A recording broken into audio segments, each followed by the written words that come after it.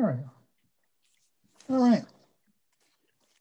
Well, why don't we why don't we begin? Thank you, everyone. Welcome to our, our first first meeting of the year, Historic Resources Committee.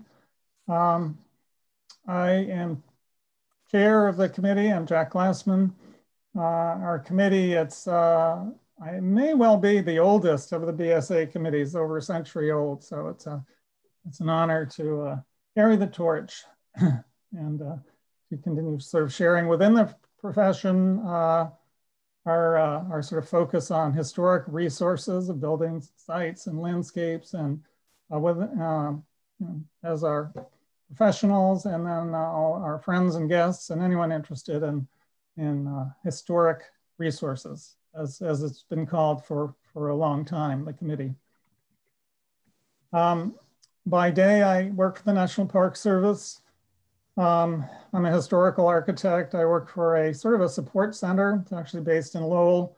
but We support uh, what's called uh, Department of the Interior Region 1, which stretches from Maine to Virginia, uh, although it does not include the all the national capital sites, which have been on the news lately. And um, I, uh, well, I just I saw I'd share, uh, just saw in the Globe this piece about the what happened at the Capitol. Uh, it's entitled "A Desecration of History." It's uh, it's certainly apropos, um, where artifacts were defaced and others paraded as props during the riot at the Capitol. Um, obviously, within our kind of cohort of uh, you know in preservation, we uh, we we know with interest and dismay, of course, all the the damage to the the sculpture and the artwork and the and the, the, building materials, you know, the kind of materials conservation issues with the doors and frames and windows and the art. Um, but uh, this is obviously much more than that. This attack on really the, the symbol of our democracy, and so uh, this sort of attack on our democracy, desecration of history is a I, I, hate to treat it um, just sort of like a soundbite among our current events, but I, I thought we need to just note this uh, sad uh, event, uh, but also to hope that uh, things will start to get better. Um, on that note, I just want to sort of, for this, the part of the meeting where we're discussing current events and all, uh, I don't want to just be the talking head so, or face. So uh, please, if anyone, you know, does have um, any thoughts to share, current kind of events that are sort of of note related to preservation, historic structures in terms of buildings or sites or objects or, or planning, uh, urban design that's sort of related to history, historical context, uh, please do, uh, you know, type in. So, um, all right. Uh, yeah, I mean, the article talks about in detail about what happened, but we all, we all know what's gone on. Um, I uh, wanted to just note uh, in memory uh, that uh, uh, Donald L. Uh, passed away. he was Donald Stull, FAIA. He was a fellow of the American Institute of Architects. Um, a talented architect, an inspirational founder of two successful architecture firms. Um, the, um, there were a couple of articles on the Globe. One of them uh, noted uh, was entitled Architect Design Boston Landmarks. He founded two firms run by Black architects when that was rare. Uh, and um, I, I guess the terminology again, norm, I, I often bristle when I see uh, the word landmark used in news releases or whatever, because those of us in the field know that there's this process, a public process, and um, uh, that's uh, evaluation and assessment, determinations of eligibility, and, uh, and then designation as a local landmark or a national landmark. But um, in this case, uh, it definitely seems, seems appropriate. Uh, uh, I never met Mr. Stull, but just knowing all the, the transformational kind of the work that he's done in Boston with the, um, the Ruggles station with that vaulted was one of the things they were proud of, according to the article, the uh, nine, I think nine Orange Line stations and the, the Southwest Corridor Park. Um, so uh, there was a legacy of buildings, but also of people in that uh, just founding these firms and then encouraging and very diverse uh, women uh, and, and young black architects, uh, and many went on to, you know, spun out to form their own firms.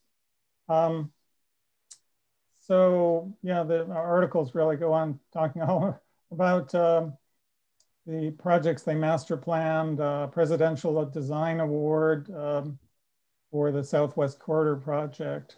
So, um, uh, and then you know, uh, bringing in uh, David Lee uh, as a, a, young man and Mr. Stull, you know, he mentioned how he couldn't believe there was some, someone else, uh, another black architect, and um, when there were just a handful around the country, and then founding these firms and Stull and Lee, uh, a prodigious uh, amount of uh, great public work. Boston Police Headquarters.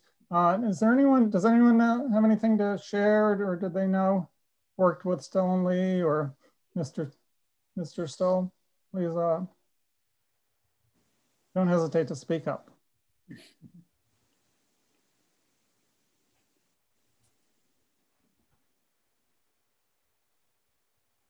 No? Okay. Um, I had, uh, I had uh, when I was at the at the BRA long, long time ago, I uh, worked with uh, Tom Maestros, uh, who's in recent years worked with Stull and Lee, and I had invited him to, I thought I invited him to say a few words, but maybe if he joins in later, then, uh, then we'll give that opportunity. So items of note. Um, I saw a little piece, uh, the paper that I, I, I, was trying to start with some good news first. The uh, a culinary award was given to the Union Oyster House. It was named a landmark restaurant. there we go again with that. But anyway, hey, it's all, you know, good press, especially for a, a local business and also uh, which opened in 1826. So ostensibly the city's oldest restaurant. Uh, and it was named America's Best Landmark Restaurant by the World Culinary Awards, beating out other popular uh, nominees uh, in New York and San Francisco and New Orleans, including Arnaud's in New Orleans.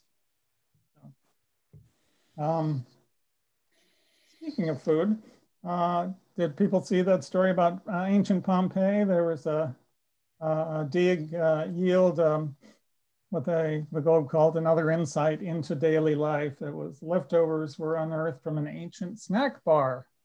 And um, they were, um, they actually found uh, this, this kind of L-shaped counter with these impression, with these uh, depressions and they had bowls and there'd be uh, containers that would, be put in there and they actually found food residue of stew and uh, fish and this and that.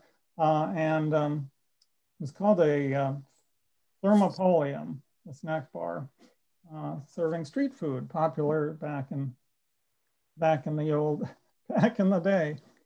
So um, what's also extraordinary, though, and I don't know if people saw it, but uh, and you can't see very well here. If I can, let's hear about the decorations on the on the walls, the murals, and on the counter, illustrating presumably the food, the uh, rooster, and uh, uh um, hanging uh, ducks or whatever that they that they served. So extraordinary, uh, extraordinary decoration, high quality.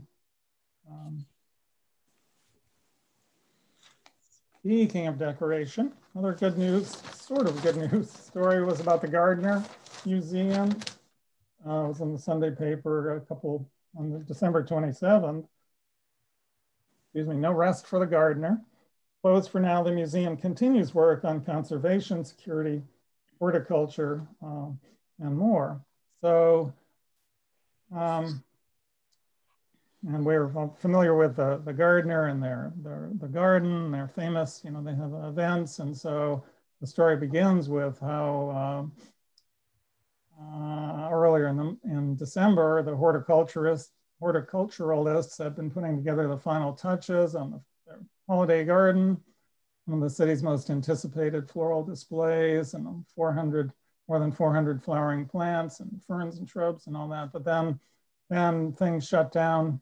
Officials shut things down more for museums. So they had had a rush and ended up donating, uh, donating the uh, plants to artists and community centers. And so they did make some, something good of that. But meanwhile, they're also continuing. So the one advantage, I guess, of being closed is uh, they could proceed more quickly rather than starting and stopping for visitors on uh, work that needs to be done um, with some renovations. So that's the good news part about they, um, the tougher news, of course, is the revenue stream and how they're, uh, they've been willing to, they've been able to keep staff on, uh, but uh, they don't know how much longer that could go. So now this was on the 27th, so just a couple of weeks ago, but um, anyway, I'm trying to persevere um, and uh, keep things making progress during the during the pandemic and the closures. Uh, moving across the world, you guys still with me? Uh, in India, there was a, uh, a new, kind of rapidly changing news, sort of from uh, from bad to uh, to looking better, which uh, relates to Louis Kahn's in Indian Institute of Management in Ahmedabad, India it was set to be demolished. The college had, had not provided a great deal of uh, justification for proposing to demolish 18 dormitory buildings that are really at the crux of this complex, which is uh, by one of, really one of uh, the world's you know, greatest late uh, you know, architects, Louis Kahn. Uh, this is a key work of, of modern architecture.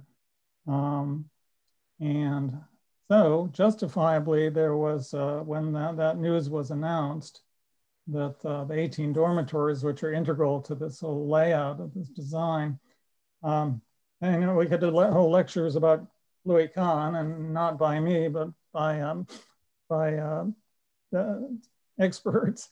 But um, suffice it to say that um, uh, before his tragic death, and I think it was 1970, um, yeah, I think so. And this project wasn't completed until after he died, by the way. The um, for someone that didn't, that, in terms of quantity, number of buildings, uh, he, uh, he and his firm produced a relatively small number, but but the, of those small numbers, how many of them are considered the, among the greatest works of our sort of heritage of heritage architecture? For this, uh, it was described on one uh, by uh, article by William Curtis as a diagonal flotilla of the 18 dormitories. Uh, and he was, Kahn was uh, inspired by several prototypes in the history of architecture, from monasteries to courts and cloisters, to brick, brick cylinders of a 14th century cathedral in France, to the outdoor rooms of 15th century palaces in India. So uh, great for for for architects. Uh, it's uh, it's really one of those kind of wonder, great wonders, and great to look at it just to look at them as sculptures uh, and as and as architecture. And then they also had kind of integral natural ventilation too, which seemed to be one of the reasons given for uh, for the demolition uh, was to uh, because some students they wanted air conditioning, they wanted uh, ensuite bathrooms and that kind of thing. But uh, the good news is uh, that after this worldwide outcry, um, the school has withdrawn the plans to demolish them. Um, I don't know if they were planning to not demolish any of them or, or they're trying to still want to change a few out. But uh, anyway, uh, it does show that, uh, that uh, you can make a difference, I guess, activism. The, um, speaking of which, closer to home, uh, Brookline, the uh, home of uh, one of our greatest, really, giants of American architecture, Henry Hobson Richardson, who designed Trinity Church, um, as that sort of a starting out a career and then uh, uh, leading to hundreds of uh, uh, the, well, railroad stations and, uh, and really in, kind of redefining a style that came to be known as Richardsonian Romanesque um, with imitators all over, all across North America uh, and all different building types. Anyway, his house was in Brookline, is in Brookline, uh, and there was the studio. The studio was a, a, a rambling addition that was subsequently demolished. And um, next door is a house that was lived in by John Charles Olmsted, who was one of the Olmsted brothers of the famous so-called father of American landscape architecture, Frederick Law Olmsted.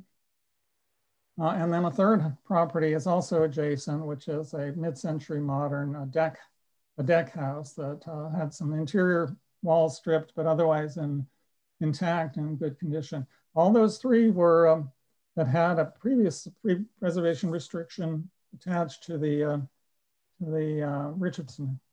I think it was just to the Richardson house. But anyway, three adjacent properties were bought by a developer of luxury houses and filed for a demolition permit uh, with the Brookline Preservation Commission.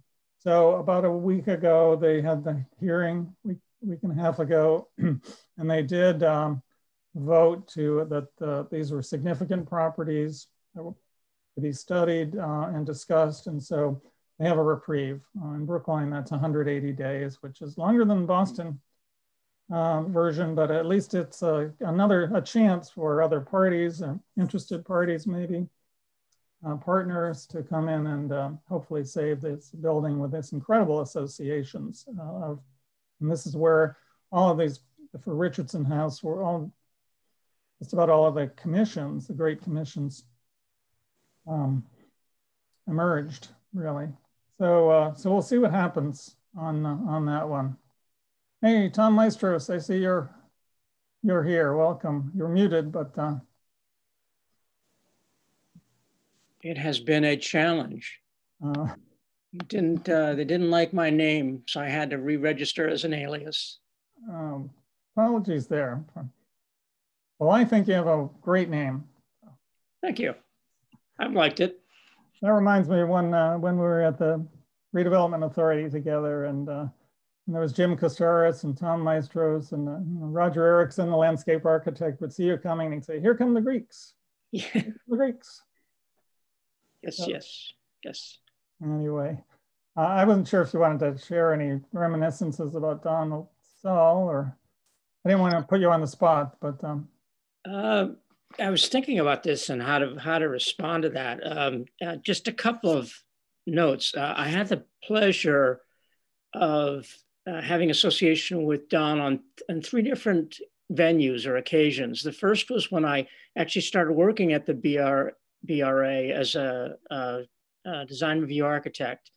Um, and I had the pleasure of, because I was working in many Roxbury projects, um, I had the pleasure of reviewing a couple of projects that uh, uh, Don had, meeting and, and reviewing some of the projects that Don was the uh, architect on. Um, we have a Midwestern uh, association. We both come from Ohio. Um, so maybe shared some common bond there, but uh, I was just always impressed by just how um, one of the things that I always remember about the BRA and doing design review was when I talked to architects, I said, tell me what it is you're trying to achieve. Because if you don't tell me what you're trying to achieve, then I'm going to try and interpret it and, you know, and, and insert what I think it should be. And Don was always one of those who had such a strong personality and that it was never an issue. He would always tell me exactly what it was he was trying to achieve um, the, the next association that I had with him then was when I was the director of the Civic Design Commission, and Don was one of the members.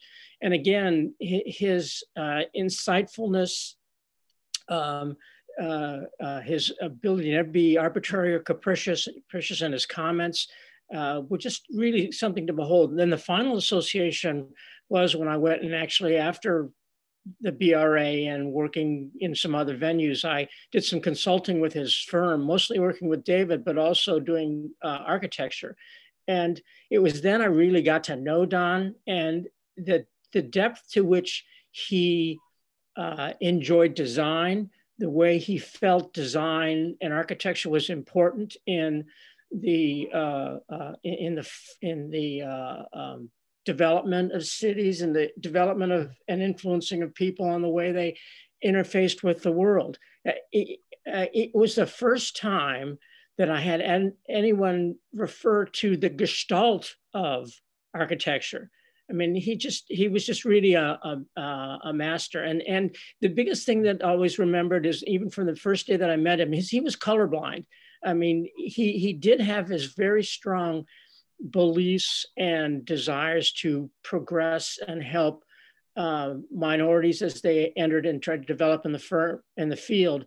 But anyone who had a, a, a somewhat genuine notion about themselves or a true belief in architecture and humanity were, were immediately um, um, taken in by Don and supported and, uh, uh, and uh, um, just it was, just, it was just really great in that regard.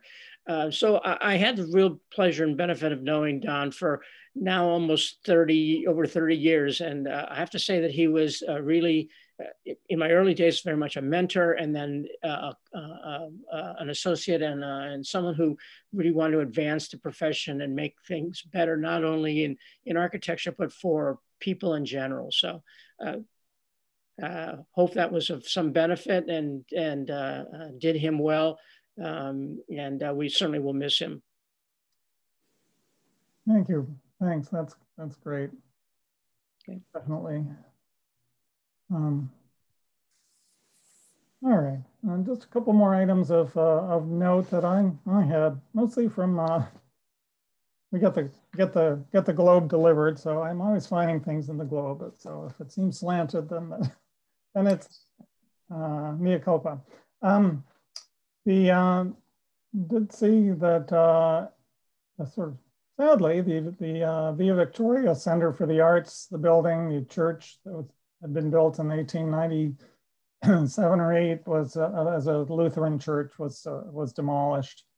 Um, it um, I guess they, they uh, it wasn't part of part of the plan, but it was just it turned out to be uh, turned out to be too expensive. And after engineering analyses and uh, uh, and then weighing all the all the things that had to be completely rebuilt, so that was just recently, I think, when they finally had to uh, had to take it down, but um, the um, renovation project for the uh, the arts uh, the organization, um, which I won't try to pronounce, but uh, they were supposed to cost only eleven million dollars, but then with all the repairs, it, it would have been twenty four million. So um, you hate to see that sort of fabric here in the south end. Uh, it was uh, 85 West Newton Street.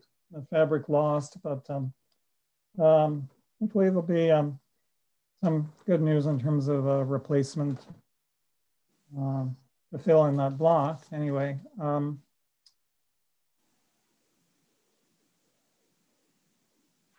the other other transitions, I guess, is that finally the the uh, the title of the Globe story deemed tone deaf, the statue of Lincoln, uh, and the ex ex slave, the ex uh, um, slave was removed uh, comes amid the US reckoning on race, of course. So um, this was after uh, some time ago when the Boston Art Commission uh, did vote unanimously to, uh, to remove the so-called emancipation group uh, sculpture. So hasn't been decided, I guess, where, where it will be relocated, but I think the plan is for it to go somewhere where where the story and the larger context, which is important, uh, can be uh, can be interpreted.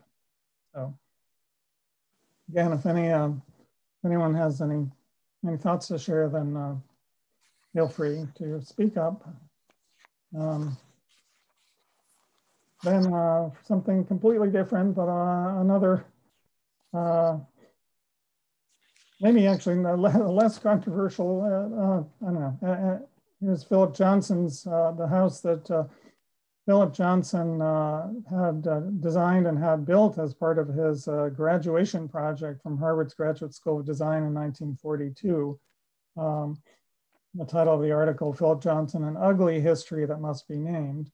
Um, the house uh, was officially been renamed uh, its address, which happens to be its address, 9 Ash Street, and no longer known to be known as the Philip Johnson Thesis House.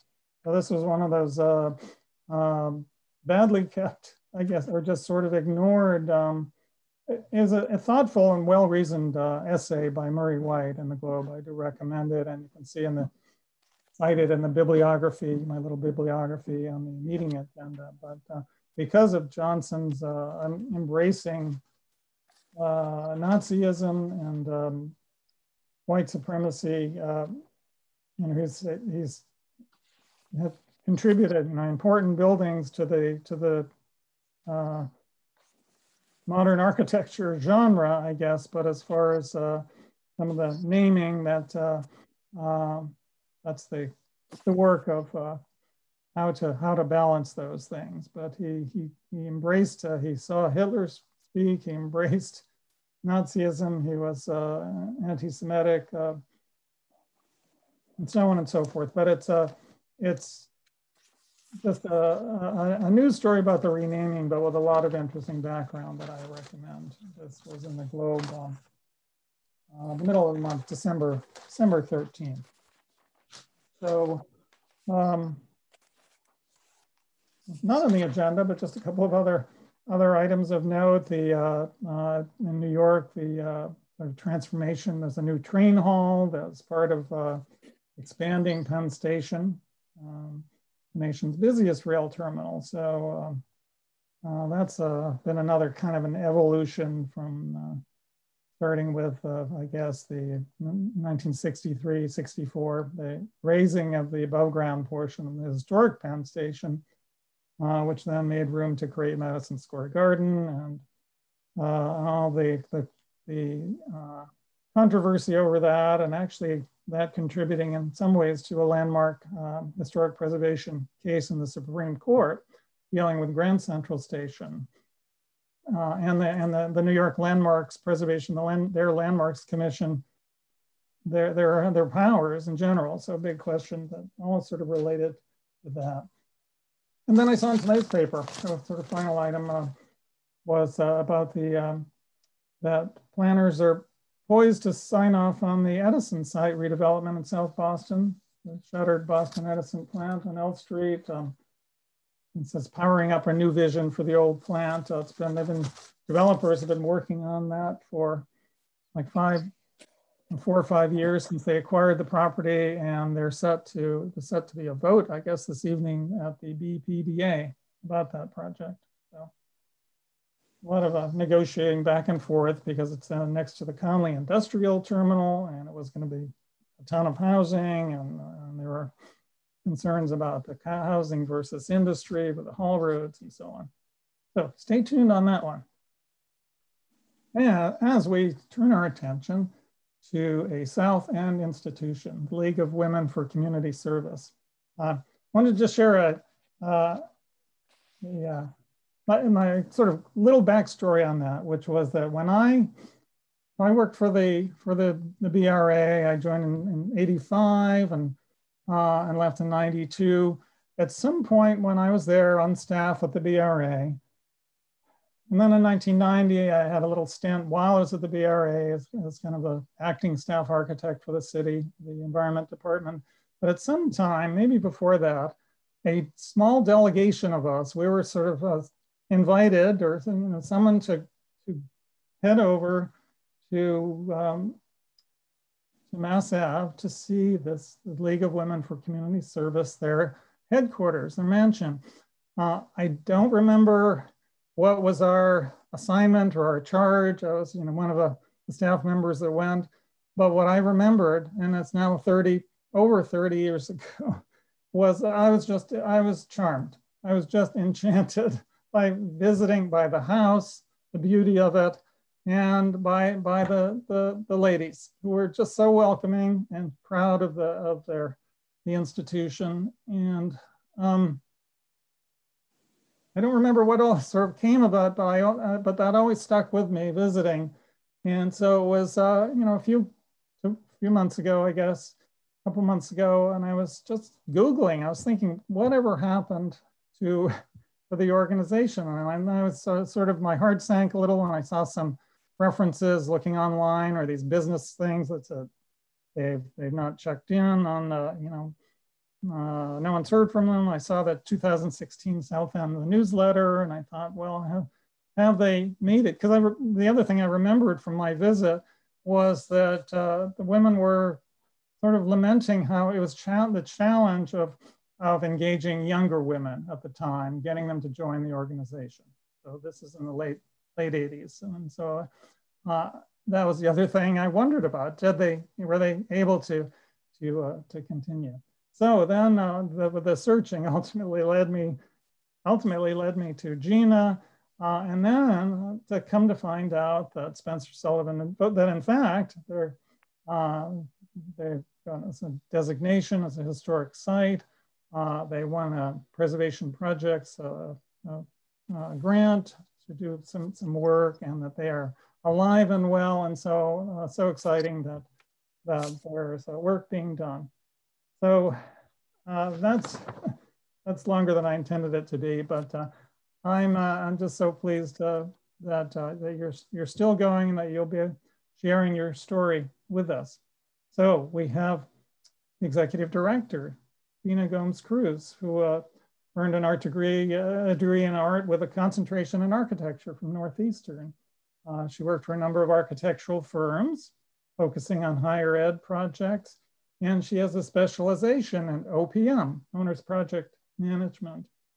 Uh, she was, these were sort of my words interpreting, but persuaded by the, by the then the, the league president to join and become the organization's executive director.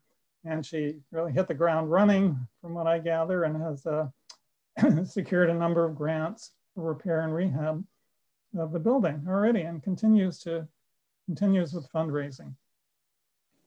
Uh, Jackie Arrington has been uh, a longtime member, dare I say, she wrote since 1978 and indeed was a, a past president of the, of the league. She's a semi-retired pediatric nurse practitioner, worked uh, in a number of public and private schools as a nurse and also as a, the director, director of health services. She continues, uh, she's been a Roxbury resident for over 40 years and uh, really continues, has a natural affinity for needs of uh, children, uh, wellness and uh, children who attend schools uh, and she will continue that in her formal, after her formal retirement. Curtis Maxwell Perrin is a project manager. He, uh, among other things, he, he maintains a career focus on preservation advocacy, design, and historical research. He's an adjunct professor at Wentworth School of Architecture and uh, is, uh, is employed as the project manager uh, for Spencer Sullivan and Vogt, which is in Boston, right here in my neighborhood here in Charlestown now. Uh, and he's worked on a number of feasibility studies, including this one for the restoration of 558 Mass Ave, uh, and uh, worked on some other projects, uh, landmark designation for Roxbury's African Orthodox Church. Uh, he was trained in uh, offices in Paris, Cesar Pelli's office in New Haven, Elkus Manfredi in Boston, and he has degrees at Bowdoin, Harvard University GSD, Graduate School of Design, and a doctorate from, he's a PhD from Yale University. And, uh, and I understand we also have Adrian uh, Benton, uh, another longtime member who is uh, representing the league as well. Uh, Gina, did I, did I miss anything? Or if not, no, I and thank you for the well, introduction, Jack. Um, but Adrian is here with us, as I mentioned, and we didn't get to give her information. So Adrian, if you wanted to just say a little bit about yourself, and you've been a long time member too, so you want to just let us know how long you've been a member. Oh, you're on mute, Adrian. Doing my special Zoom duty by being on mute. Mm-hmm. Um, I actually moved to the Boston area in 1992 and uh, became aware of the league, uh, primarily 558, because I was initially interested in the building, uh, probably I would have to say close to the 2000s. And uh, then I was able to find, you know, find the organization basically. So I've been with the league probably the last 10 to 12 years, maybe Jackie. I'm trying to remember. it, I think so, Adrian. Yeah. Yeah, I didn't I didn't have gray hair then. I had, you know, more black hair then. So so it's yeah. been uh, so it's been a while. But um, but I'm a business person here. I used to be a former hospital administrator. Uh, I have a business called Onyx Spectrum Technology. And uh, we do work primarily for the federal government in the air areas of electro-opticals, optical repair and um, electronics repair, mainly for legacy equipment. So we, we're the ones that keep the old stuff running, basically. But um, but the first time I saw 558, I just fell in love with the building. So I fell in love with the building before I fell in love with the organization. And I got to know the league members and became a member of the league. And um, we're finally getting getting some momentum again with uh, with having Gina come on as um, executive director uh, and also working with um, the architecture firm. We've been able to really, really get some momentum in terms of getting some additional funds um, into the building. Uh, I do have to say we have a wonderful board of directors. Uh, I'm a part of the board of directors and um, the board has made, you know, substantial contributions to, you know, to um, the restoration of the building, but of course we need other people's money. And I'm hoping that uh, when you see the presentation here today, that you'll be encouraged to help steer us to other people's money to keep this gem um, um, thriving. Um, even given the disrepair, though, you'll see from the presentation that, um, that the building is remarkably still uh, very much intact and, and, and just a beautiful, beautiful structure is one of the um, uh, most intact buildings, I think, in the, in the South End in terms of the original architecture. So, so basically things look the same in the building for the most part uh, as they did when it was built uh, pr prior to the Civil War. So I'll turn it back over to you guys. Thanks, Adrian. All right. Well, why don't I, I will bring up the PowerPoint, uh, which Jean's kind enough to send to me. And while I'm doing that, just a reminder that in the chat box for those who are interested in the getting the AIA CE credit, then there is a, a link to the uh, very brief form. So, share screen. Let's go to this one here. Actually,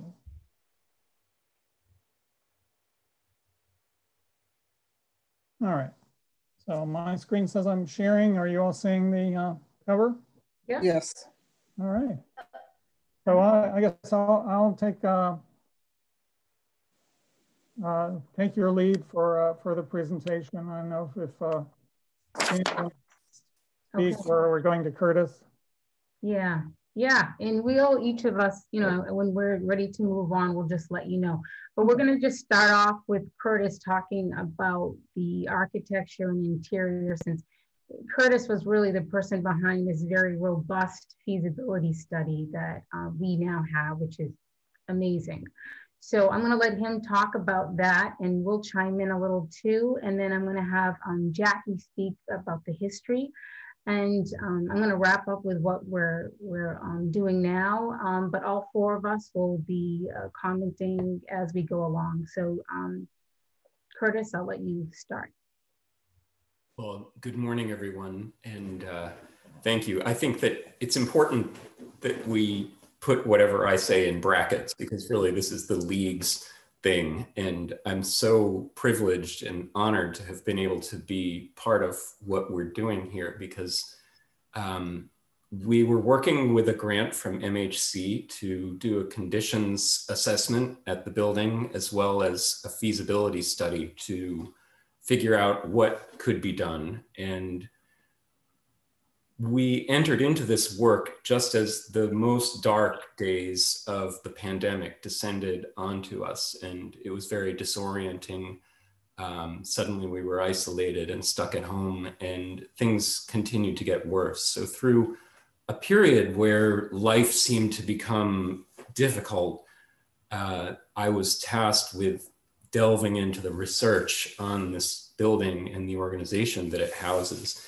And it's been such a privilege to have had that task, even though it was complicated by not having access to resources like libraries, because as the world spun out of control to delve into the history and see what has been going on here in a quiet way since 1920, when the League purchased the building, um, has been an ongoing encouragement to me and fostered um, my ability to simply be involved in whatever small way with the forces that are going on at large in the world, because the League has been fighting since the beginning of their founding for uh, the cause of equal rights for women as well as um, equity for Black people. And that's just been very inspiring to be part of. So I want to just thank them again for our ability to be able to do this. The League, incidentally, was founded um, in 1918, just as World War I was coming to an end, under the name the Soldiers Comfort Unit. And you guys, you really have been a comfort to me in that sense. So I appreciate.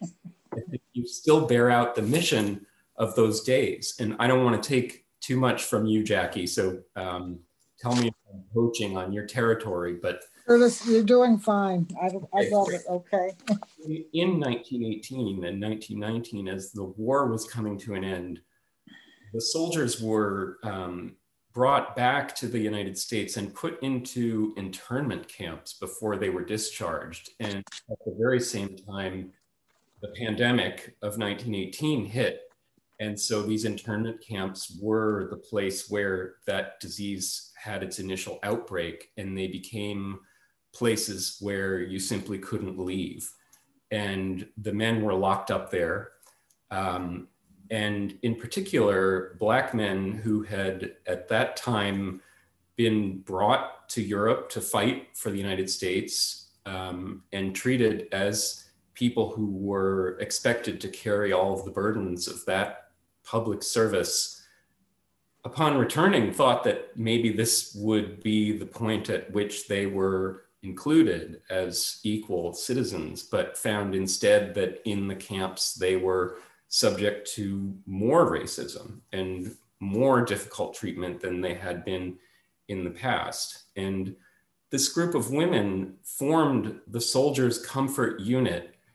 And if you think about what they say they did, which was to bring pies and sweaters and things like that out to the camps, it sounds very genteel. But in fact, this was an effort to bring aid to a disorienting pandemic situation, very much like what we face right now. And it must have taken an incredible amount of courage to walk into a camp where there's a pathogen and um, to bring aid and comfort was really an extraordinary gesture. Um, at the same time, the League was also beginning to become involved in the anti lynching movement. And the founding members of the League were all of them very accomplished women who had careers, which was not the norm at the time, uh, whether for white or Black women. Um, they had careers in education and nursing and other professional areas and had contacts with a lot of um, people who were able to help them in publishing endeavors and outreach work that led to involvements even at the national level in the anti-lynching cause.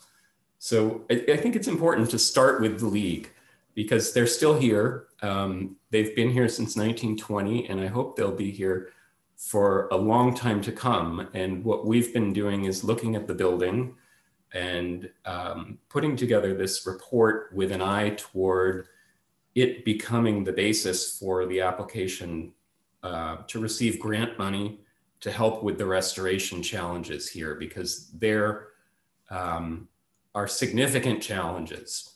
When this building was constructed in 1858, it was considered to be Boston's most extravagant house. And it really does live out some of um, that even today. And maybe we should advance a few slides, but even in this one, you can see the incredible level of ornate Victorian detail that is throughout this structure. It's a row house on Chester Square. It was built when this was a mud flat and people were speculatively buying up the lots. We're talking about prior to the Back Bay. So these were prestige addresses. And the man who built the house was named William Carnes. He was a dealer in mahogany. He imported mahogany wood and um, sold that and also uh, ran various ventures over the years that were involved in the production of furniture and furniture veneers.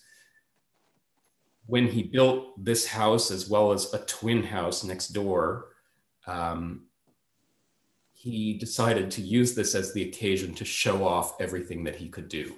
So throughout the house, there are rare tropical woods. Um, there's mahogany as well as several other species that are um, arrayed by floor to give kind of thematic arrangements to the building um, and just incredible levels of carving and uh, also brought in all of these elements like the chandelier that you're seeing here, um, the mirrors, which at the time cost the equivalent of $100,000 in today's money. So these were really significant investments in aggrandizing himself. Um, but as with so many such stories, Carnes um, ended up bankrupt and the house was put up for auction. Um, maybe we can advance to the slide that has that auction notice. One more, I think. One more, there we go. So this, you can go back one. This auction notice appeared in the paper in 1868. Carnes' debts caught up with him and he was forced to sell the house. For himself, he ended up living in a shack on a cottage on Squam Lake for the remaining 30 years of his life. He seemed to have been displeased with this. There are pictures of him in a top hat cleaning fish. Um, he was apparently an eccentric person. We don't have a lot of data on him, but um, he definitely was somebody who was not afraid to break with normal patterns. He built this house which stood out. He also is um, credited with having run an underground railroad station from the building. So in addition to League's presence here, there was this prior chapter of involvement with history of black people in this country, fortunately in a positive light that the league inherited upon um, purchasing this structure. But the auction notice in the paper is extraordinary because it's clearly written by Carnes himself and reads like a specifications manual for the house and its construction, even down to specifying the name of the hinge company that produced some really exquisite sterling plated hinges for the doors that have a very intricate mechanism that conceals the points of attachment. So um, Carnes was really proud of what he had done and um, clearly he wanted to show that off, but he doesn't seem to have had misgivings about leaving it behind. It was not the first time that he went bankrupt. He lost a prior house in Roxbury, apparently, in a similar snafu. So um, he rolled with the punches. Uh, what he left us is this extraordinary building. And we had a picture in here somewhere with the central stair atrium. Can we find that?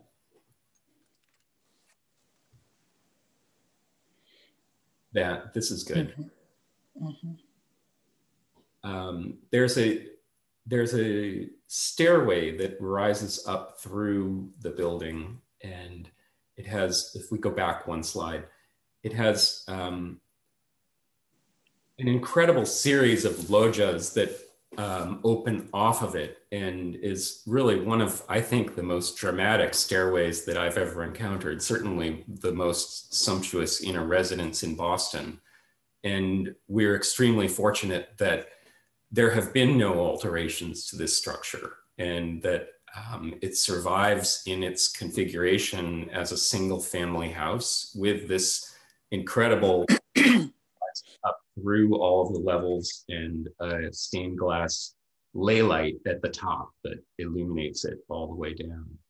Um, the house next door, which was a twin house down to the every detail, unfortunately shows what happens when buildings like this are forced to be put onto the market.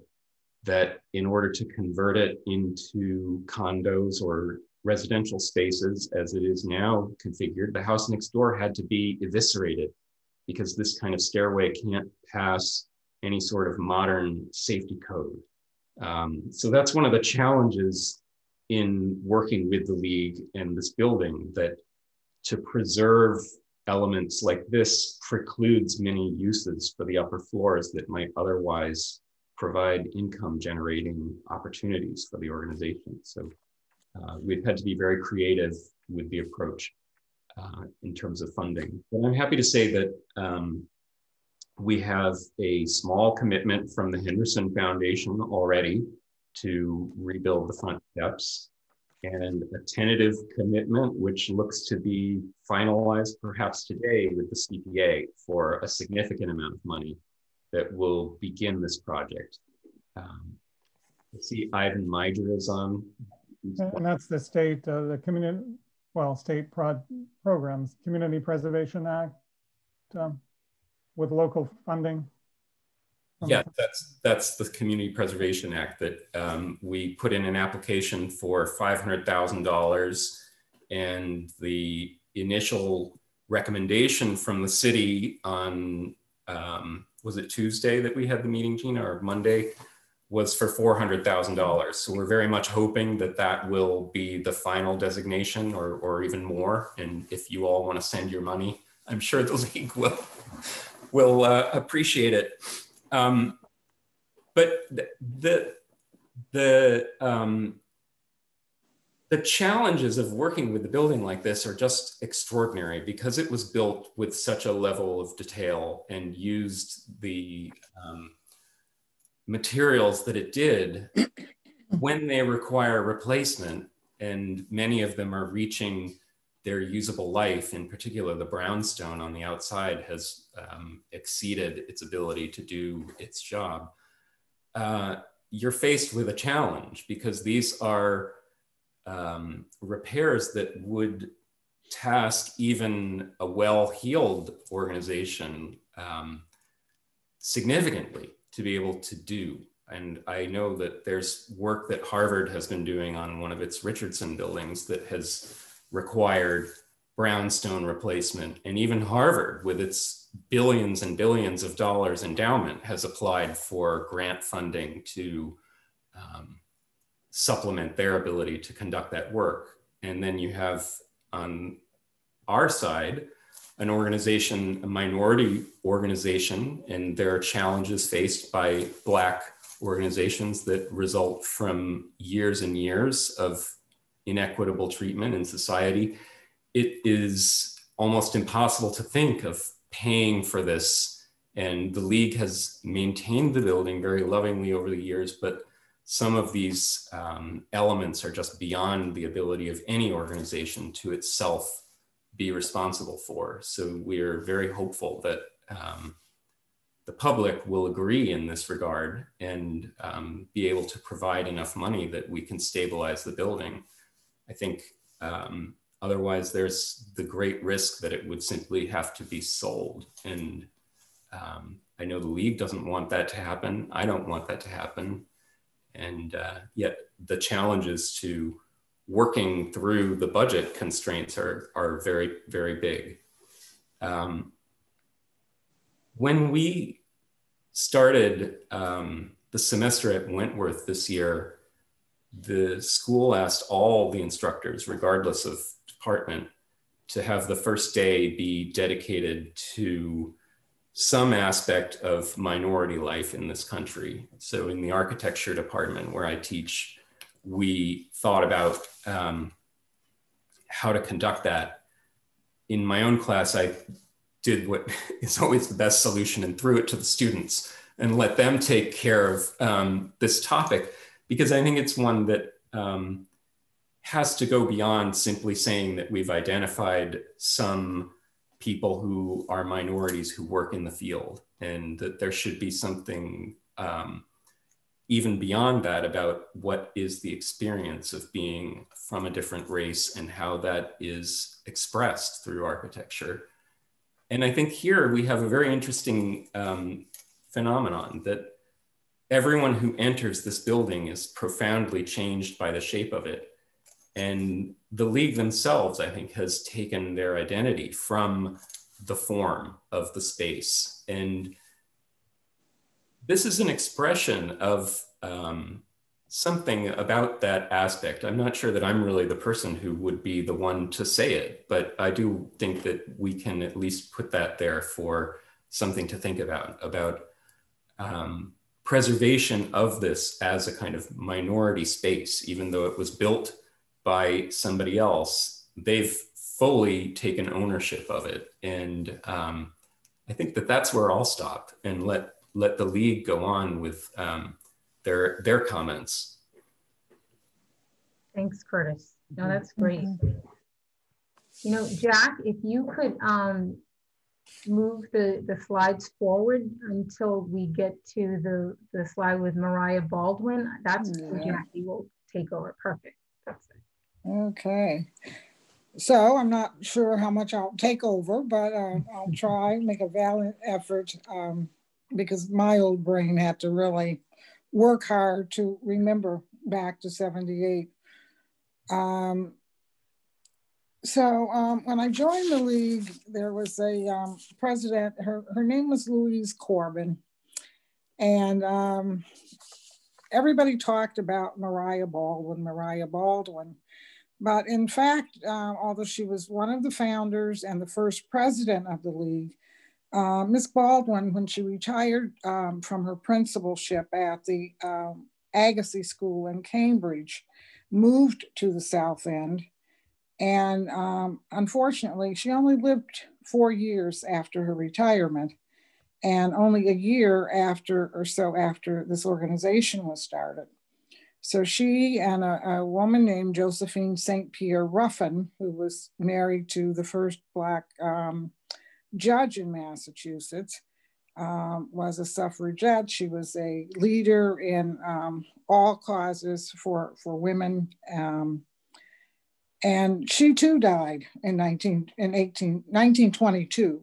So these women did not live long to benefit, to see the benefits um, of their work in starting this organization, but they left it in very capable hands. So I was looking at our um, roster here of former presidents of the organization, and I came across the, the, first name that I recognized, a person that was living, and I, and absolutely knew her, was Thelma Miles, who was um, one of the first, if not the first, Black graduates of Boston City Hospital School of Nursing.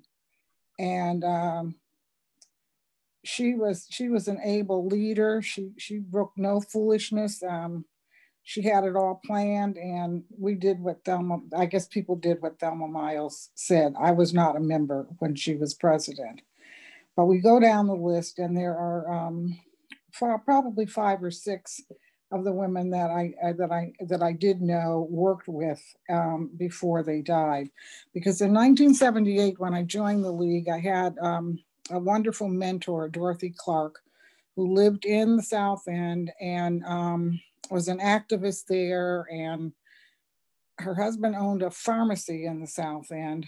And Dorothy was just all over the place. I think they're members of the South End Historical Society who will remember her um, fondly. And she was just determined that I would understand the mystique of and uh, 558 and the league, as she called it, and what it was and what she wanted it to be, or what her what her vision was, how this organization would go forth. We had meetings on Sunday afternoon about two o'clock, as many of the members were um, at that time pretty elderly. They were coming from church services.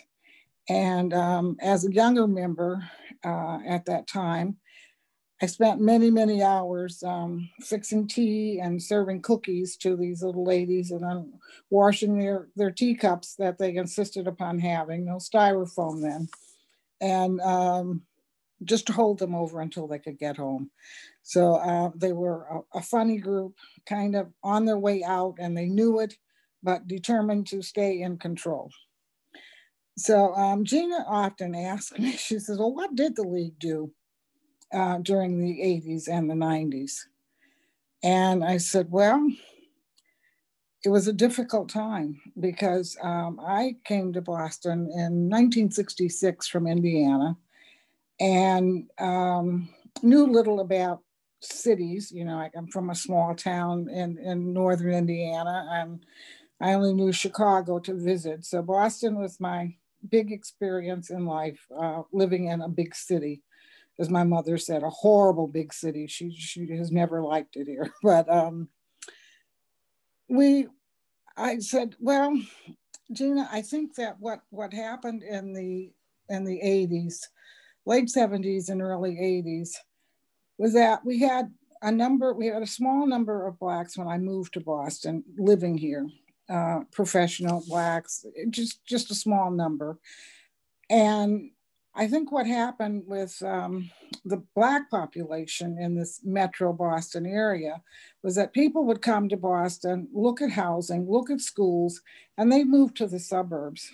So black middle class, upper middle class were, were scattered throughout the suburbs and not in the city, not located in the city of Boston. And so I think Curtis made mention of the fact that we had a very difficult time attracting uh, younger women who might be interested in such an organization.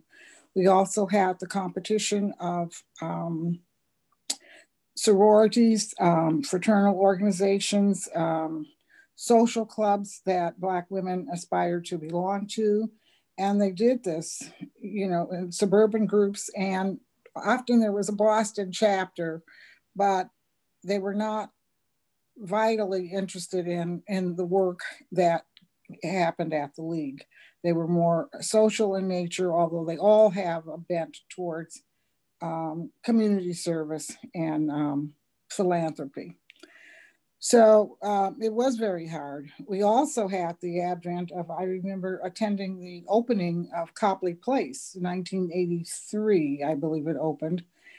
And, um, but there were very few hotels in Boston until that point. I think the Marriott was built maybe 1984 and the Sheraton had been down in um, Back Bay since 1965. But the opening of the um, Copley Place, the Marriott, opened some opportunities for um, for groups of individuals and especially blacks to venture outside for um, social events for fundraisers for whatever they wanted to do and as i said a large group of people were in the suburbs and had access to um, other venues for for having these social events so we were facing this not so great a population of um, Black women that were interested in organizations like the League. And we had opportunities and venues were open for people to go other places. And so we continued our work um, in, the, in the small way that we could. And um, continued with with such things. We've never forgotten the uh, Maria Baldwin Presidential Scholarship that we give each year to a public school student who um, has improved grades or you know has a compelling story about about grades. And so that continued from um, throughout that has continued throughout. We are um, women from um, our um, efforts to do housing in Boston, it presented a problem after a while because the system had always been that we had a um, matron, quote, that lived in the house and um, kind of oversaw the the the, um, the women that lived there.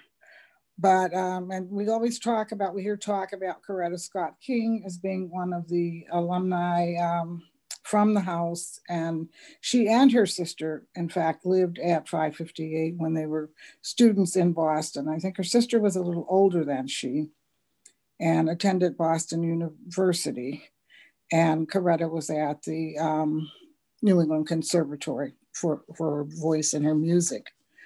So our programs, though, that um, made an impact, I think the most impact with um, with the community and the city during the 80s or so, is that I was working in the public schools at that time and came across a young woman who was, um, I don't know where I met Chris Bond, but um, wonderful young woman with enthusiasm, and um, she was interested in doing something about the for adolescents and teenagers with the um, advent of the AIDS epidemic in the city, and no health education classes really formally taught in our public school systems, uh, not just the city, but the suburbs also.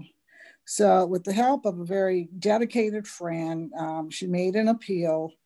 And for six years, they were tenants at 558, uh, paying a very nominal, nominal fee, maybe $100 a month to help with electricity or water or whatever. And that that was that place was their headquarters. And um, so the kids rehearsed there, but they did theater and um, a number of the children in that group were Metco students, and they, so they were bused to different suburbs. And they enjoyed a very robust and um, fulfilling mission for a number of years with their theater um, and going out to different um, schools and venues doing theater arts and teaching sexuality education, which many people didn't want to talk about, but certainly um, made a contribution. So we're very proud of that connection we had with a group called We Talk. We're educators, a touch of class is what they call themselves. So um, we were also, um, until Filene's went out of business, one of the charities for Filene's Basement. So when I joined the league, uh, Mr. Cleveland Pinckney was one of the first names that I learned. And I think he was um, a friend of one of the members, belonged to the same church or something. But what a wonderful, dedicated man he was. Filene's Basement had that method of marking down. And so, for people that are younger or not familiar with Boston uh, and the old Filene's and Filene's Basement, um, they had a system of bringing the clothing from upstairs down to the basement. They dated it and after 12 days, maybe it was 10% off of the sales price. Maybe 14 days later, it was 25%. And after it reached maybe 30 days, it was given to charity. So we were one of the charities. And one of the um, people in that, that area, Lower Roxbury, um, the South End, women that were smart, savvy, um, take care of their homes, they lined up on that third Saturday every month. And the line would extend from our building on at 558 almost down to Washington Street, um, down Mass Avenue, because we were busy um, in that month between sorting. Mr. Pinckney, though, without him, we wouldn't be able to do it because Filene's would call him and at a moment's notice, he'd go pick up this clothing and bring it down. We spent hours in the evening sorting clothing and um, and then selling it or practically giving it away. We just wanted it gone. Um, and it wasn't so much a money making profit uh, venture for us as it was a um, look forward to an exciting adventure for um, for neighbors and people in the neighborhood and women that knew about it. And um, I just, I, I, really missed when when it stopped, when it stopped. it was hard, hard work, but it was it was wonderful work that we did there. The um, founders of this organization were always trying to to be relevant um, and meet the needs of the community. So um, I thought it was really, um, we didn't do this in the 80s, but I, I, when looking for materials and things to present, I um, talked to a man who used to attend the, what is now the Hurley School, was the Dwight School um, behind the league on, on West Spring, East Springfield Street. And he says that during the Depression, he distinctly remembers he and two brothers coming over, and I don't know why they only gave it to the boys, but they had hot chocolate, hot hot chocolate every day for the boys, and they came over and had this.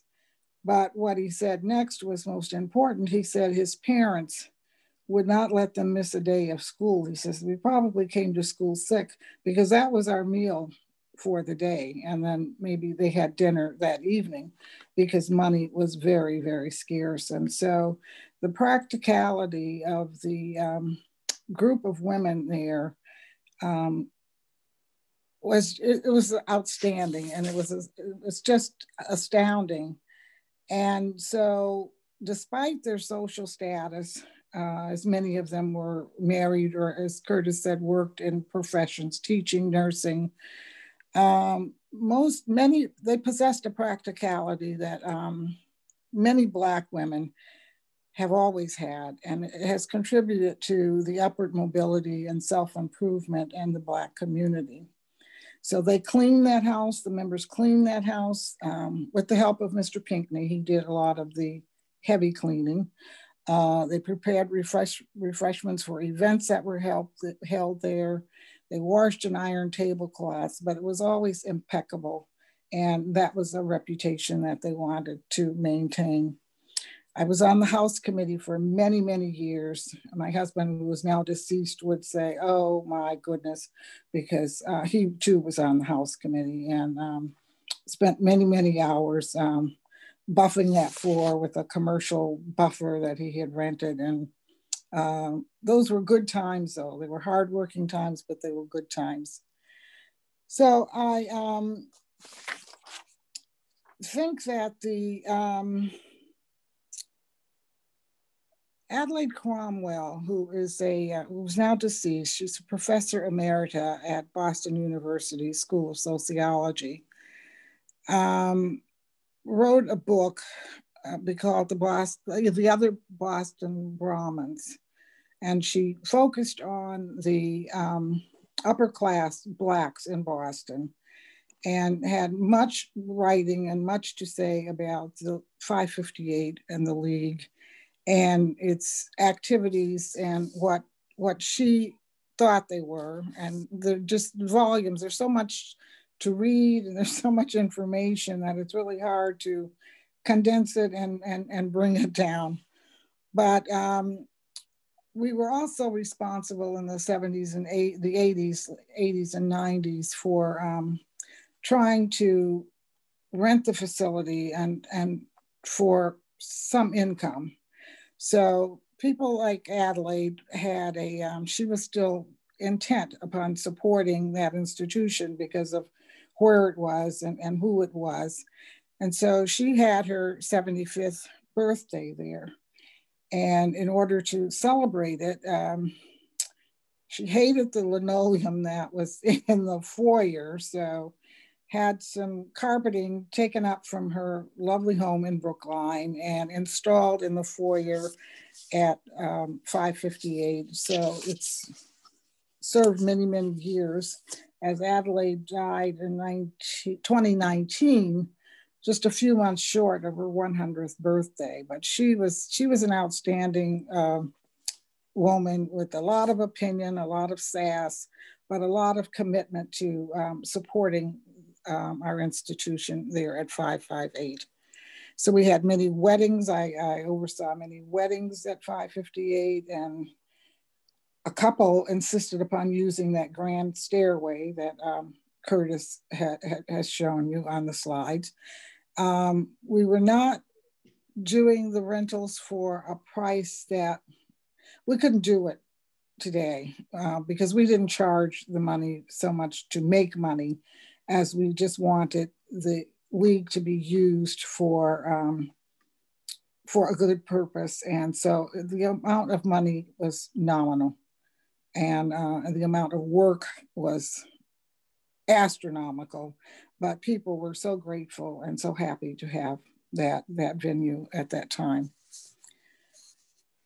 So um, our educational pursuits um, go further than Coretta Scott King living there because um, there are two, I can think of two outstanding persons that I happen to know who lived at 558 because many, many um, socially prominent Black families in the 50s wanted their daughters who were attending places like Boston University seems to come up time and time again to have a safe place to live uh, since they were not allowed to live in the dorms.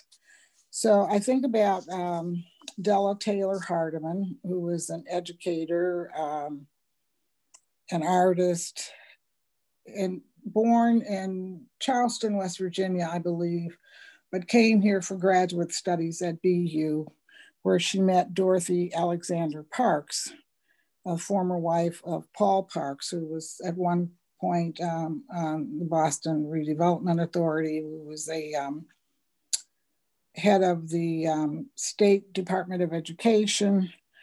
But um, Dorothy was one of the first Black probation officers in the Boston Juvenile Court. And she happened to be from my state of Indiana. So when I met her, she really took very good care of me. She was always willing to give advice. And then Dr. Hardiman um, eventually settled on Martha in Martha's Vineyard and is so esteemed that on the fourth Sunday, fourth Saturday every July, there's a celebration held for Dr. Hardiman on Martha's Vineyard. So there were just a number of um, outstanding, wonderful African American women who moved through that building um, as students in Boston.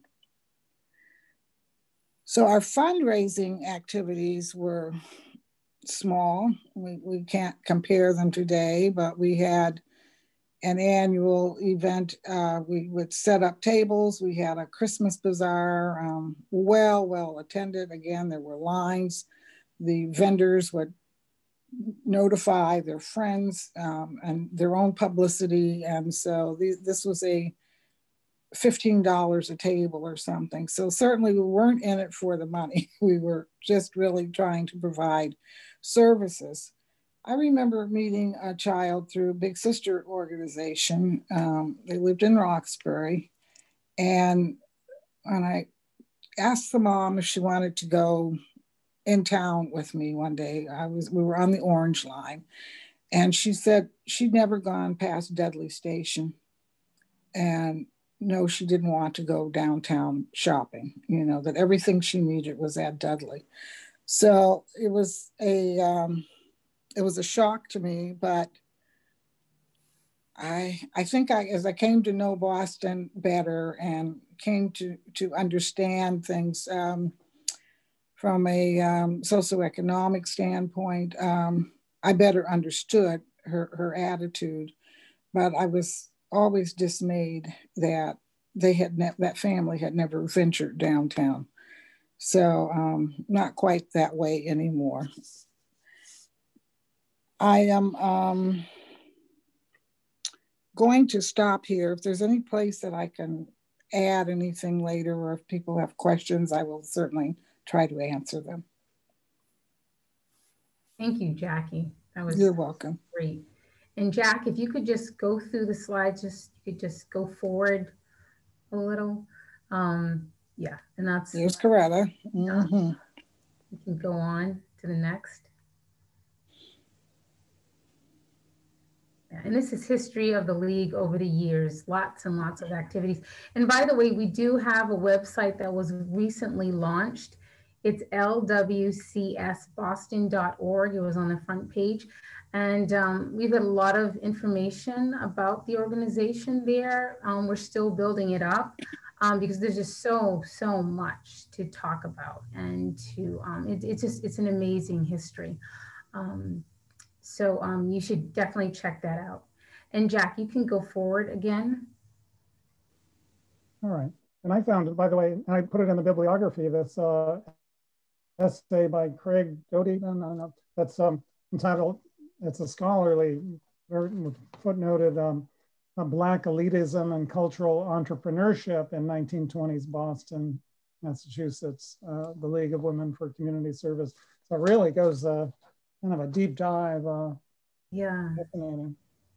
That, that is one of at least four major articles that have appeared from scholars writing about the league. And I think mm-hmm. they're actually important to think about in connection with the slides that we're looking at here with the representations of the league's undertakings over the years, because we're dealing with a history of groups that in large part were disenfranchised, even though at the same time we're talking about an elite group Boston Black Brahmin group, as out as um, some have called it. Dr. Cromwell, Adelaide Cromwell. Mm-hmm.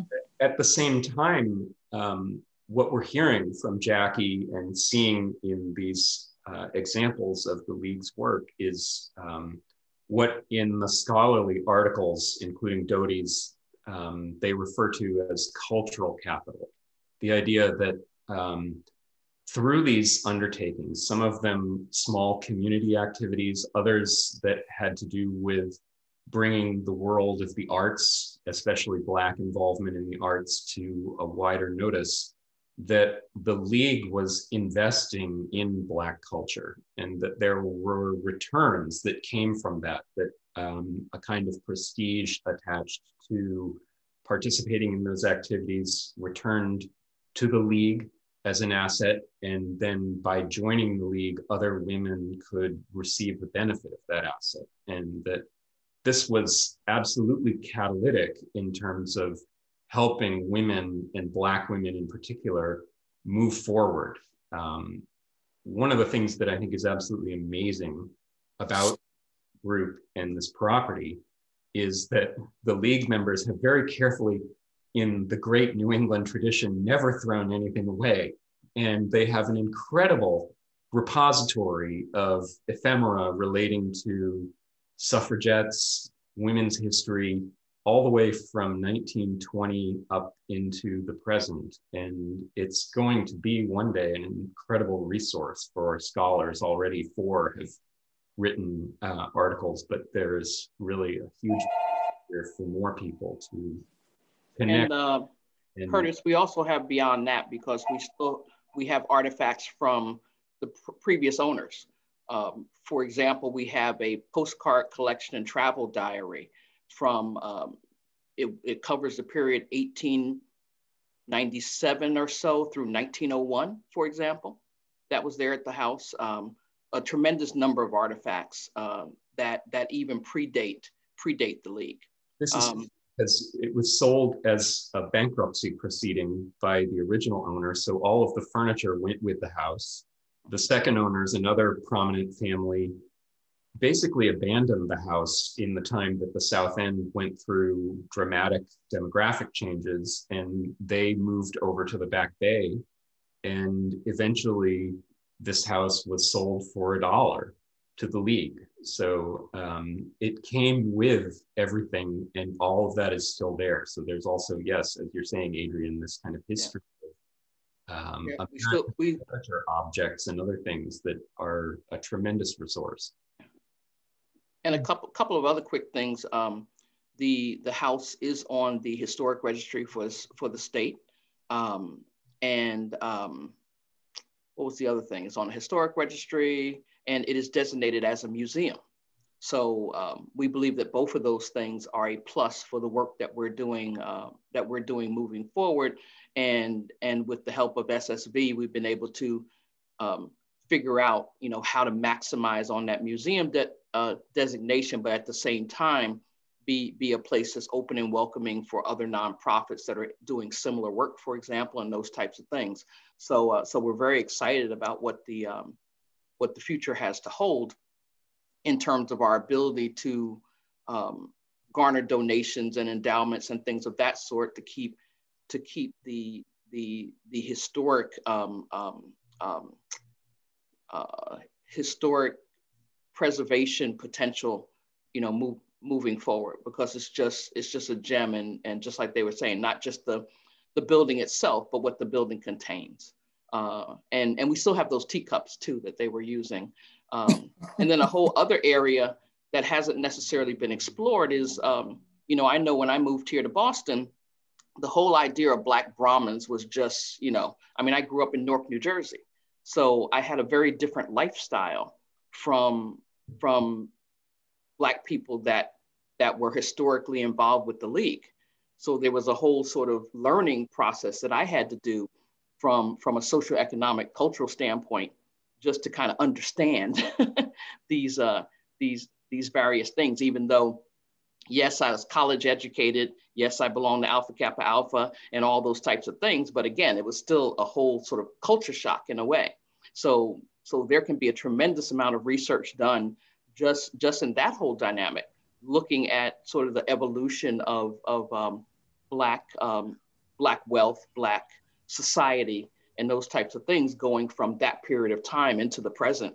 And, and um, we're, we're trying to figure those things out because those are the things that are going to drive drive our membership and drive activity. You know, how do you make the organization continue to be open and welcoming? And I think we've been doing a better job at that because we are attracting younger younger women now. I I used to be one of those younger women, but not anymore. But now we're attracting more younger women because we just have to figure out how to, you know, um, uh, contemporize um, membership in the league, basically it's an incredible intersection of many things that are extremely relevant right now, especially in the wake of what happened at the Capitol, what happened earlier this year with George Floyd and the protest movements emerging out of that. I cannot think of another property in Boston that has so many vectors of significance converging at one point. Um, you have the um, history of slavery that's invoked in a positive way through the Underground Railroad activity on this site. You have women's history, you have Black history, you have a major piece of architecture within the city containing an inspiring organization with an ongoing mission, as well as this collection of historic artifacts and resources and personality that all of them, I think, are communicating something that is very much needed at the present time. And so we're very hopeful that um, the grant money will come through that will allow the league to continue to run from this space and to also open it to become something more welcoming for a wider audience. Can I ask a question real quick? Um, where do we send our check?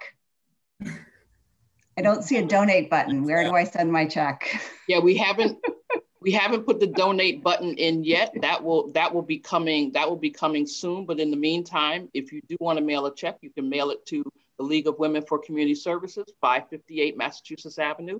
Uh, what is it? 02118? Yes. Yeah. Okay, there we go. I'll put it in the chat.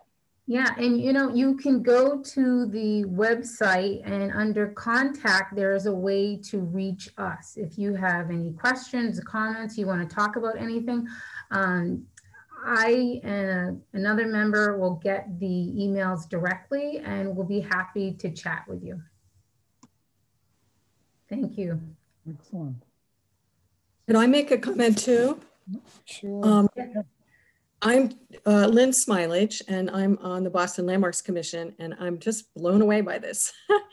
and I think you should be a local landmark. Uh, so I'd be happy to help in that effort if um, if there's interest.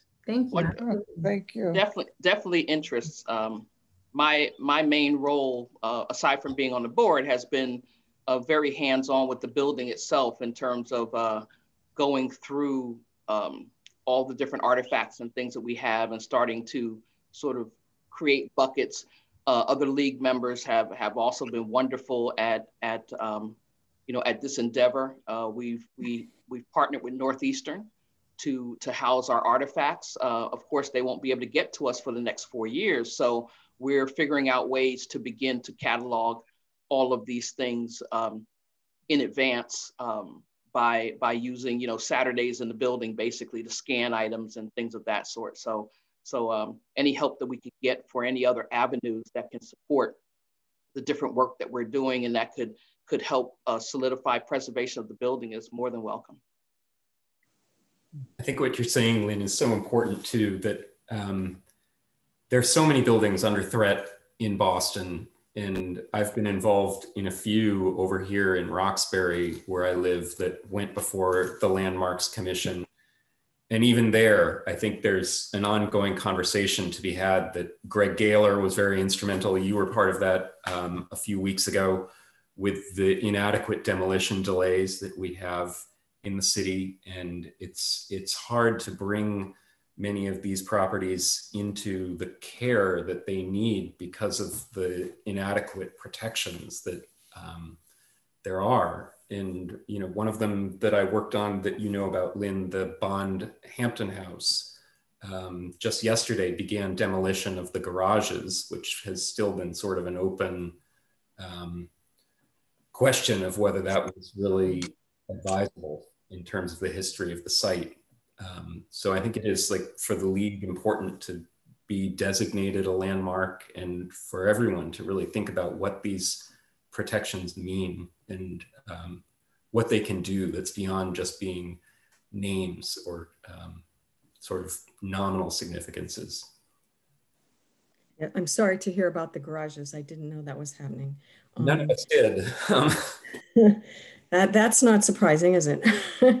um, uh, uh, landmarking the building um, wouldn't provide any financial resources, but it would provide total protection um, along with prestige. Um, yes. but I think this building is important in so many ways. I mean, it's ar architecturally magnificent, but just as important and just as significant is uh, the work of the organization and the impact it's had on Boston history, you know, for a century now.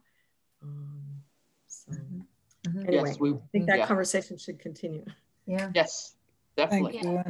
Eligibility shouldn't be questioned, right? It'll be pretty obvious. Mm. Yeah. I'm sorry. I didn't hear Anita's comment. Oh, I, I, was I was saying that eligibility shouldn't be uh, questioned. It looks yeah. very obvious to me. Oh, okay. Thank you. Right, right. Well, Jack, I want to thank you for the opportunity you gave the league to tell our story, and um, this is this is just great. We we're happy that everyone now knows on the call here, and anyone who may look at the video in the future, what's happening in the history of the league. So um, again, you've got our website, so if you guys want to contact us, please do. My gosh, yeah, no, thank thank you. It's, this has been a great. Uh, a great introduction. And I use the term because it is now, I hope more, you've got more followers and friends and we hope to stay in, stay in the loop and uh, uh, get involved and stay involved. So thank you again. Yeah, thank can you. I, can I ask a quick thank question? So how, how your membership is doing these days?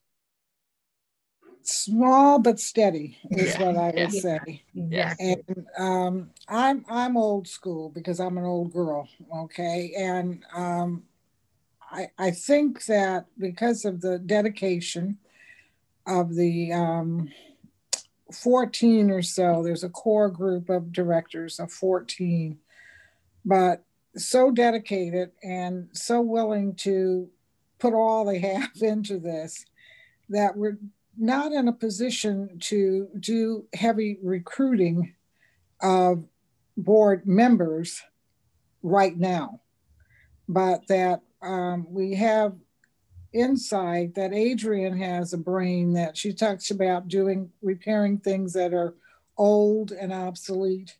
So we're going to use her brain to help us repair 558 and as she says bring a more contemporary approach to to to membership but I say it has to be done carefully. Uh, we've been very fortunate. Um, you know, many times small organizations like this, and you're trying to fundraise, and there's always somebody willing to sow a little discontent and um, keep a little confusion going. And we don't we don't have that. So I just think if we can get going um, and get some of these projects underway uh, with funding, that it will allow us the time and we can ease our brains a little and think about how we will improve membership in the organization and, and just how we will present it. So it's a an yeah. ongoing observation is that truly the building is a magnificent uh, landmark within the city, but the mm-hmm. organ, but it, but it, it, it's a shadow of, I think, the organization that you ladies are continuing and that it would be the real travesty would be not so much the building in a landmark status but the the the demise or continued decline of your organization and yeah. uh, you know if, if there this as jack has said finding it was difficult um, understanding that it exists is magnificent and being able to expand the outreach and and awareness of this organization would be something that um, I, I, know I know I'm going to bring this to David Lee's attention when I get back to the office. But um, there there are certainly those in high position or in, in influential positions, particularly in the minority community, who may he may already know of it, but they can certainly add to your exposure and and help in your uh, uh, in your overall hope hope in, in, broadening that overall exposure and maintaining your viability moving forward. Yeah, we Thank actually um, we actually recently put out an RFP, uh, and we got responses for consultants that will help us in terms of the uh, organization specific things like membership generation, uh, looking at programs and things of that sort. So we are embark embarking on that, but we can, you know, we can use all all the willing helpers that we, you know, that we can get. But definitely, uh, that is something that has been on our radar. It it is a priority, but again, being a small group of people, we have to sort of move incrementally because what we don't want to do is to get overwhelmed in any particular place and then something falls. Yeah. So, um, but but that's why we reached out and um, and uh, we've gotten a response. You know, we've gotten a response to the RFP. There is a prospective grant that could that could fund that that type of support for the league.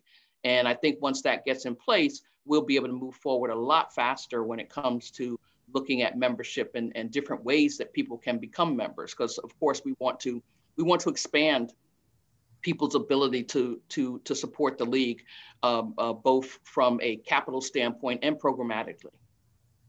Good luck. That's really in this regard is that the league and the building are very much intertwined. And as I was saying earlier, conditions at the building have kind of overtaken the league, that the brownstone in particular has been exfoliating. And many of you who know the South End will know the scaffolding that's been on the outside of the building for quite some time now to protect people um, unfortunately, things have gotten to the point where the league cannot right now really occupy or use the building. So this is part of the urgency of the current preservation planning effort is to get things to the point where um, the building, which is the identity of the organization, can once again also facilitate the activities of the organization.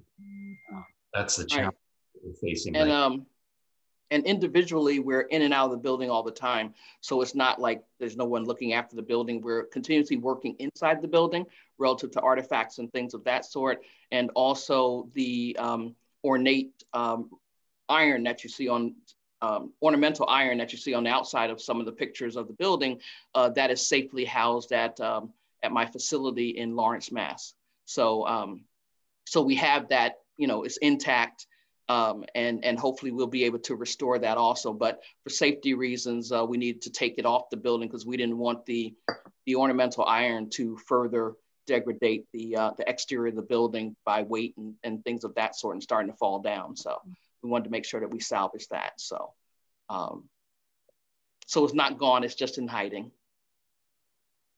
Good to hear. That's great. Well, that that was useful to bring it up, sort of bring it up to date, and also uh, emphasize the the need, uh, which uh, I hope will be met. So, thank you guys again.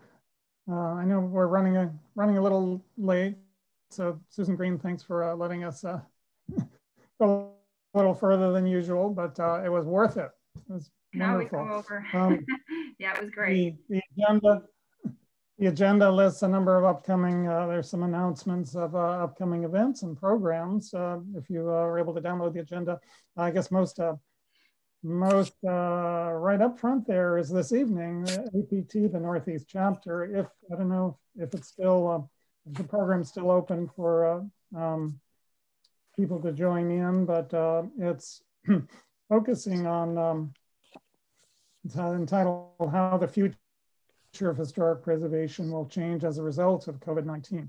So it's this evening at 5 p.m. and uh, one can uh, register via through the APT Northeast website, and then there's a uh, member clicks or whatever. Uh, then next Thursday, uh, there's a, a, Historic New England program uh, and other sponsors, I think, about the uh, Triple Deckers. Triple Decker, a New England love story. It's a talk by Mark Levitt. Um, so, sorry about that, the other phone going. Um, and then uh, on the 19th, uh, there's a uh, co-sponsored by the National Park Service. I'll just toss this away.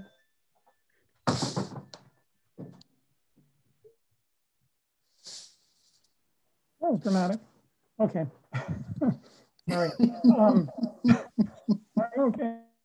Um, uh, let me proudly do my part. It's a, a talk, uh, um, discrimination about uh, discrimination at the Charlestown Navy Yard. And that's Tuesday the 19th at 6 p.m. an online event. Um, and uh, the uh, Student Conservation Association intern, Megan Woods, is uh, giving that talk. And then there are others as well. So um, in March will be the plastics. We are co-sponsoring uh, architectural plastics and polymer composites um, program that was to be a conference, but a COVID-19 version. It's, it's being transformed into a conference proceedings plus a package of a whole ton of material. Are there, and there are other items on there that you can see.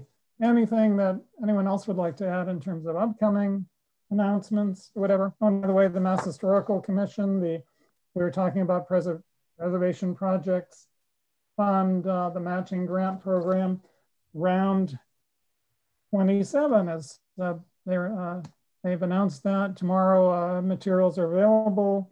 Uh, it's really open for municipalities and nonprofit organizations for matching grants, as the league knows.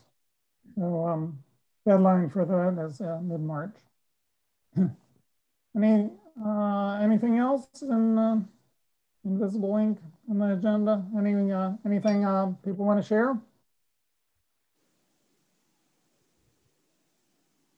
Oh, no, thanks, Jack.